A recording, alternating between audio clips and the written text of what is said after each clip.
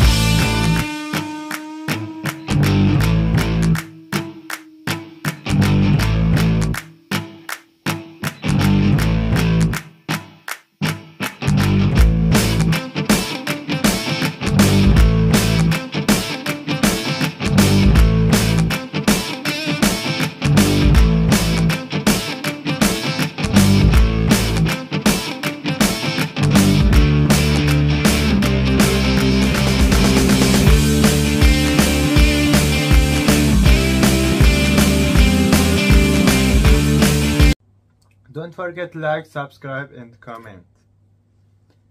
Bye for now.